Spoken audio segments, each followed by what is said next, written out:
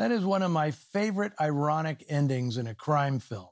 Bob gets on such a hot streak, he forgets all about the heist he's masterminded.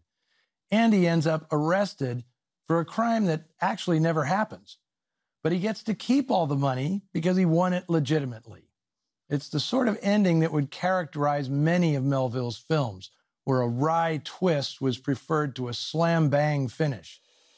Now, if you notice that Bob's hair was significantly different in the film's final shots, that's because it took Melville almost two years to make the movie as he scraped together enough money to finish shooting. Months had passed between the time he shot the interior casino scenes and the finale outside.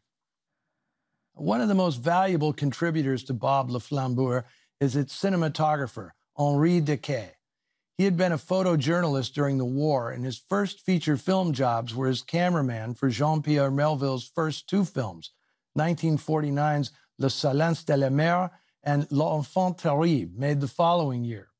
The unique combination of Melville's hyper stylized cinematic sense and Decaë's preference for natural light and documentary realism would have a profound effect on the next generation of French filmmakers.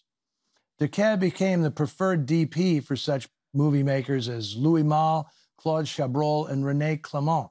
And over time, his style evolved from gritty realism to glossy lushness. Well, style and technique aside, it's Roger Duchesne's performance that anchors this film. His presence allows Melville to employ all sorts of handheld camera work and nervy editing tricks without ever losing a fix on the central character. Melville's casting of Duchesne was not just a stroke of genius, it was an act of considerable diplomacy. Duchesne was a familiar, if relatively minor, actor in French films of the 30s.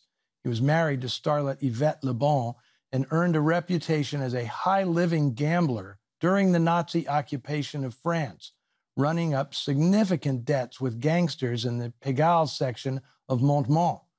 His last film before this one was made in 1943.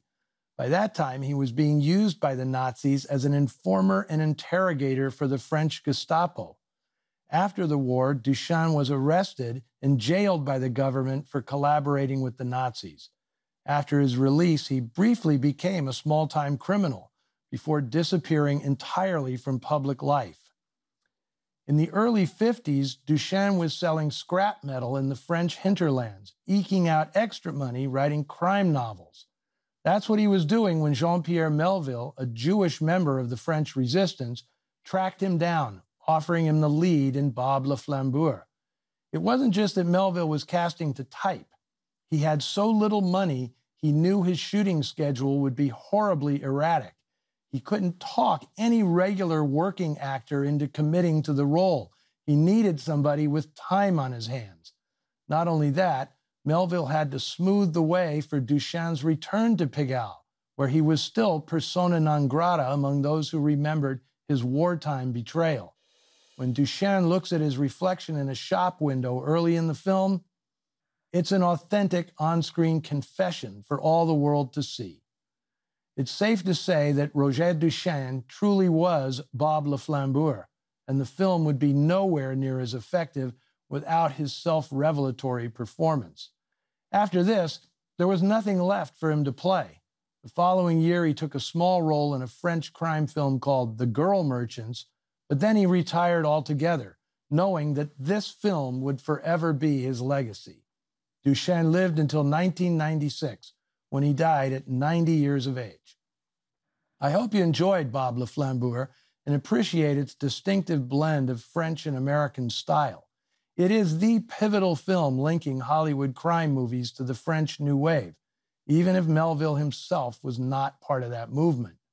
Share your comments with us on the Noir Alley Facebook page and Twitter feed.